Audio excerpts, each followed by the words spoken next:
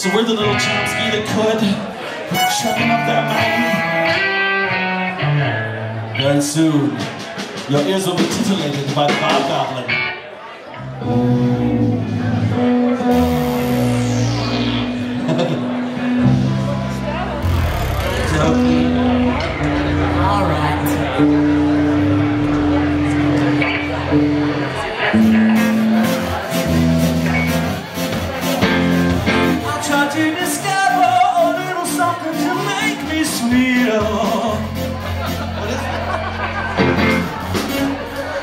Sorry, Chomsky, we got three tunes left. And then there will be more.